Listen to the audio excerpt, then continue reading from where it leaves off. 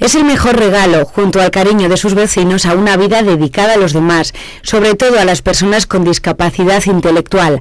Aunque se la concedieron el pasado 1 de diciembre, Rogelio Sánchez recibió ayer de manos del ministro Jesús Caldera la medalla de oro al mérito en el trabajo.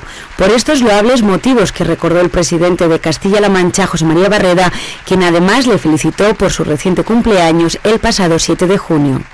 94 años de esfuerzo 94 años de compromiso, 94 años volcado al servicio de los demás y especialmente al servicio de aquellas personas que necesitan más que los demás que se ocupen de ellas.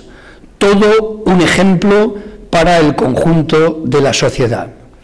En su pueblo de acogida Campo de Criptana y en un teatro Cervantes lleno de familiares y amigos, Rogelio dedicó el premio sobre todo a la persona que le ha acompañado en este largo camino. Sobre todo me siento ahora feliz porque aquí hay muchos amigos, casi todos, pero sobre todo está mi familia.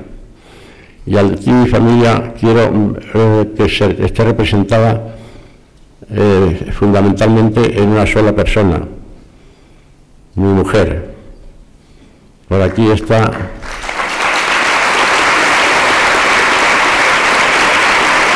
En palabras del ministro de Trabajo y Asuntos Sociales, Rogelio ha demostrado que todos podemos estar en este mundo, especialmente los que tienen más necesidades y problemas.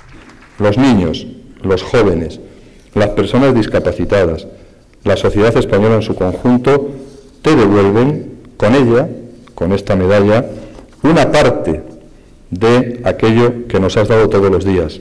Con estas muestras de afecto, el profesor Rogelio tuvo ayer la recompensa a tantos años de entrega a los demás.